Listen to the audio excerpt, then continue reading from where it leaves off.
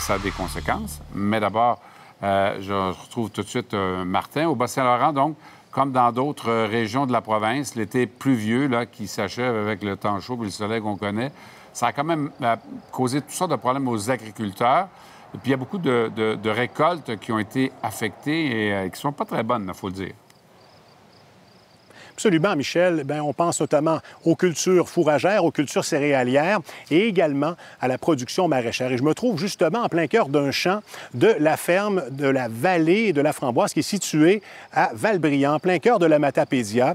C'est le plus gros producteur de framboises dans l'est du Québec. On y produit annuellement plus de 50 000 livres de framboises. Les propriétaires dressent un bilan décevant cette année. On estime les pertes entre 30 et 35% euh, par rapport à une production régulière. Mais cependant, il y a peut-être un point positif, c'est qu'on espère que l'humidification du sol et des plants puisse justement euh, donner une meilleure, un meilleur début, un meilleur départ au printemps.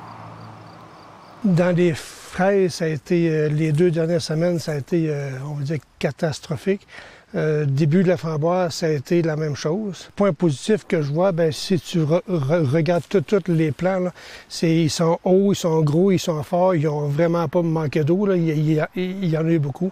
Si euh, ça passe bien l'hiver et que Dame Nature est, de notre côté, euh, dans la framboise, autant que dans la fraise, les plants sont beaux, ça, ça promet pour l'année prochaine, mais on ne vendra pas la peau d'ours avant de l'avoir tué. Quelques statistiques maintenant, Michel. Au cours des mois de juin, juillet et août, il est tombé pas moins de 366 mm de pluie au Bas-Saint-Laurent, dans le secteur de Montjoli notamment, 510 mm en Gaspésie dans le secteur de Gaspé, ce qui se traduit par des hausses respectives de 41 et de 123% par rapport au normal de saison. Alors, les fortes précipitations ont effectivement affecté grandement les récoltes, tant au niveau de la qualité, mais aussi de la quantité. C'est une année à oublier, euh, cette saison-là. Même le foin, les fourrages, quand on dit qu'il est assez mouillé, on va le dire comme on le dit, euh, de la pluie abondante avec des gros vents, les fourrages ont couché à terre, plus difficile à, récolter encore une fois, puis il y a de la moisissure. Ce qui était vert, là, c'est complètement à terre, puis les producteurs, bien, ils vont avoir des grosses pertes. Pourquoi? Parce que les grains sont en train de germer. Ils sont couchés à terre, c'est en train d'en germer. Alors, reste sur le sujet, puis on, poursuit donc